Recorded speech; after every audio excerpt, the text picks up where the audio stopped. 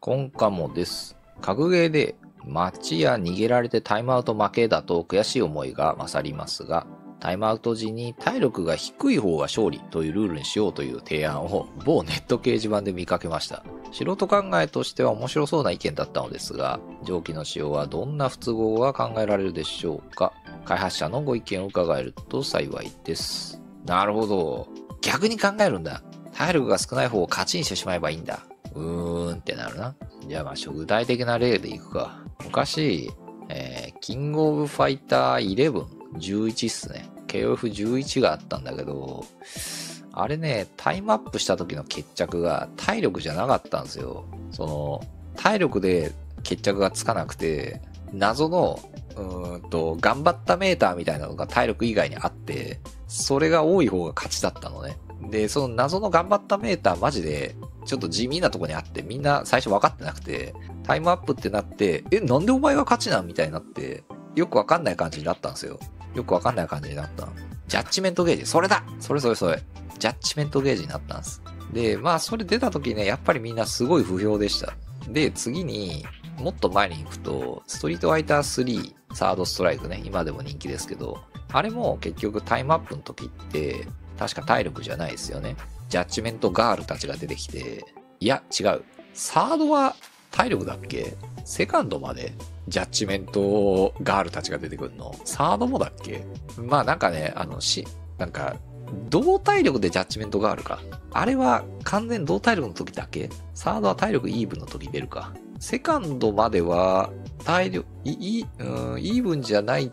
時は出てこないか。じゃあこれはあんまり例えとしては良くないか。まあなんかね、謎のキャラクターが3人出てきて、あの、1P の勝ち、2P の勝ち、2P の勝ちって言われて、2P が勝ちみたいになる謎のシステムがあったりはしましたね。で、まあ、どちらも基本的にはそんなにやっぱ評判良くなくて、まあ、俺もプレイヤーとしてやってる時に、なんやこれっていう気持ちに正直なった。で、なんでなったかっていうと、まあ、とにかくやっぱ納得性の問題だよね。このゲームは体力を多く減らした方が勝ちですっていう大前提を急に覆覆されると腹立つんですよ。さすがに。大貧民大富豪じゃねえんだからさ、急に変わるなっていう話になる。まあ、とりあえずその、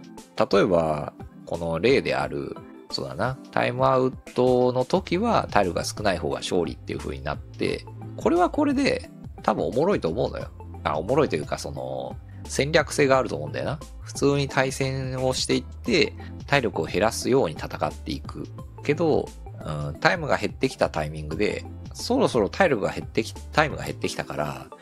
これは体力調整をしながら戦っていくのがいいんじゃないかって言って、何らかのね、戦略性は生まれるんですよ。確かに。生まれるんだけど、何のために戦ってんだろうな、みたいな。目的のブレ感がすごいんだよね。これは本当にマジでそうで、格闘ゲームだったり、こういう読み合い重視のゲームって、あの、ここが目標なんだから、みんなこう動くべき、動くはずだから、セオリーがあって、こういう風になるよねっていうところがあるわけじゃん。それが、はい、今からルールが変わりましたっていうわけでもなく、なんとなく、こう、なんだろう、勝ちが急に負けになる、負けが急に勝ちになるっていう、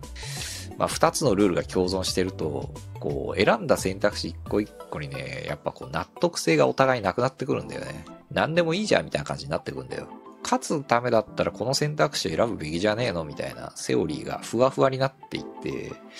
まあなんかね、何をやり込めばいいんですかねみたいな感じで、結構ね、浅い感じになる。とはいえ、あの、まあ戦略性は確かにあって、あの、なんだろう。ゲームとしてはなんか発展の余地はあるんですけど、まあとにかくね、納得性がないですね。まあちょっといろんなものを解決したとしても、タイムアップって言って、例えば負けてる方が勝ちって言われると、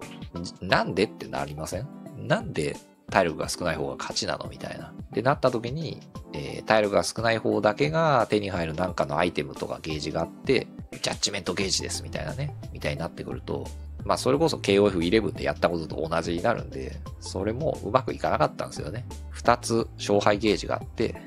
さっきまではこっちで勝敗が決まってたけど、今はこっちで勝敗が決まりますっていうのが、なんかね、決着の仕方で変わるってなると、やっぱね、ゲーム的にはね、ふわっとするんですよね。例えば RPG とかでさ、RPG とかで、うん、そうだな。この試合は負けると勝ちだよ、みたいなさ、イベントバトルってさ、腹立ちません？さっきまでずっと勝ちで進めてたのに、この試合は、あの、負けバトルなんで、負けると先に進むやつなんで、だけど、そこそこ普通に戦えるんだ、みたいな感じになってたら腹立ちません？負けバトルだったらさっさと負けろよってなるじゃない？あの、提示してもろてね、あの、もう、この試合は負けバトルなんでっていうのが明らかにわかるような、きっついバトルだったら、うん、なるほど、つって、これ多分負けバトルだな、つって、シナリオ的にもそんな感じだしな、つって、負けのもしょうがないかなってなるんだけど、なんかね、普通に接戦の末ね、勝った負けたで負けバトルになると腹立つね。でもあとはそのタイムアップがどれだけ起こるゲームかにもよるよね。ほぼほぼ起こんないみたいなゲームだったらどんなルールでもいいよ、正直。例えばその、サードのジャッジメントガールみたいな感じで、タイムアップかつ体力同体力の時に出てくるっつったら、もう正直それはどうでもいいやって思ってる人も多いから、こんなシステムあったわーっつって、ドって笑って終わりだから、まあ許せる。許せるけど、しょっちゅうね、あの、そういうよくわからんランダム要素を持ってこられるとムカつくわな。ガンダムだと撃墜やガードでスコアがあって、時間切れはそのスコア差で決まる。あー、なるほど。そのスコアって画面に出てるんですか？もし画面に出てないんだとすると、多分きっとタイムアップっていうのがほとんどないゲームなんじゃなかろうかって思います。しょっちゅうタイムアップしてて、そのルールで画面に何も数字が出てないだと、疑心暗鬼バトルすぎて結構熱いと思いますけどね。まあむしろ出さないでどっちが勝つのかわからんっていうドキドキ感を出したいっていうのはあるのかもしれん。タイムアップが近くなると優勢、優劣、レステルの表示はしてくれる。ああ、なるほどね。タイムアップめちゃ近い。はいはいはい。あ、でもあれじゃない？その、ガンダムのやつは俺わかんないんですけど、結局、撃墜とかガードするっていうのが、そ、そもそもの元々の勝ちのルールと同じとこにあるじゃない？撃墜したりガードをうまくしていったら勝てるゲームなんでしょ？で、逃げ回って戦ってんじゃねえよっていう話なんですよね。多分。多分ですけど。ちょっと俺、あの、詳しくないんで適当言ってますけど、その、そんなにもし不満がもし出てないんであれば、本来のバトルのみんなが目指すべき目標と合ってるんですよ、それが。だからそんなに気にならない。で、例に挙げ、この人が例に挙げてる、体力が少ない方が勝ちもいいんじゃないのって話になってくると、それはね、体力少ない風にした方がいいっていうバトルを開発者が推奨してるってなると変な感じになるね。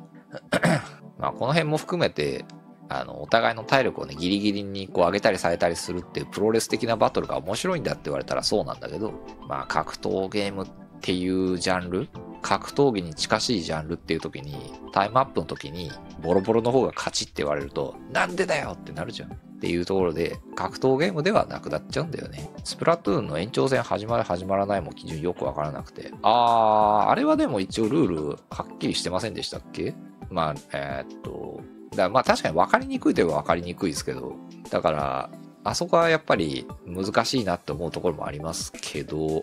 まあまあまあっていう感じで、まあいろいろ話していきましたけど、えー、不都合はね、実はね、ないんです、そんなに。別にタイムアップ時に体力が少ない方が勝ちですっていうやってもいいんだけど、UI 的な納得感もないし、プレイヤーの目指すべきゴールっていうのがふわふわになるし、開発者の目指すね、こういうゲーム遊んでほしいなっていう狙いが、本当にそれでいいんかみたいなところになりますよっていうところです。こんな感じです。お便りいただきありがとうございました。